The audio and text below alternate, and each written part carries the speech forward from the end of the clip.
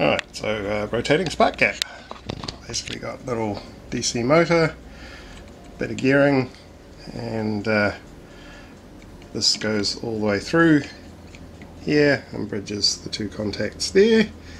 Uh, theory being that with it not having to jump such a big gap I shouldn't lose so much energy in here and I think it'll be a bit quieter maybe but uh, we'll see and just hooked up to the current transformer at the moment um, not pushing it too much further than that for now because it's starting to arc from the primary across to here.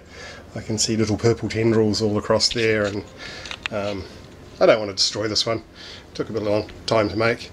So uh, hooked it up the neon sign transformer and the trusty variac and uh, give it a go.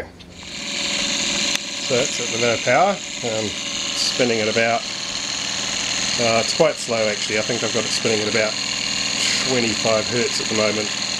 Um, and I spin it up at the full 100 hertz to try and keep up with the actual AC it really is moving quite fast and I'm a little bit nervous that it's going to fly apart. Uh, but this should still work so give it a go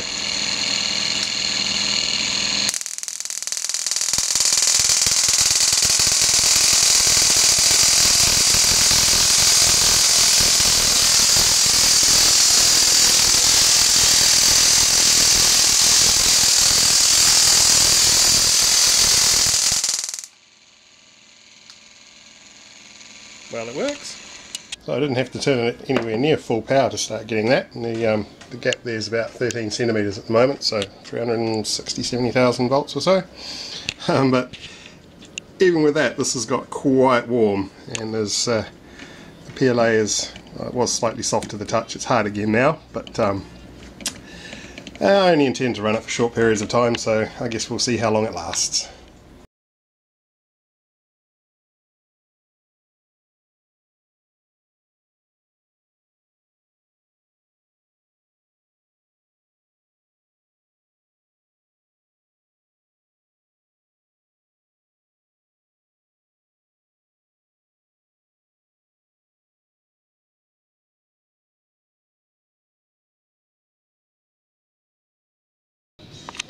Rotating spark gap, the aftermath. So um, I ran it for possibly a little bit longer than I should have and uh, you can see it's got quite warm in there and then it's melted to the point where the plastic has started to be thrown out of here. Uh, this has fallen down in its little hole there and uh, this one has actually become a permanent fixture. I'm going to have to heat that up to get it out again if I want to. Um, but overall actually it was mostly a success so I just have to make this a bit less melty and uh, give it another go.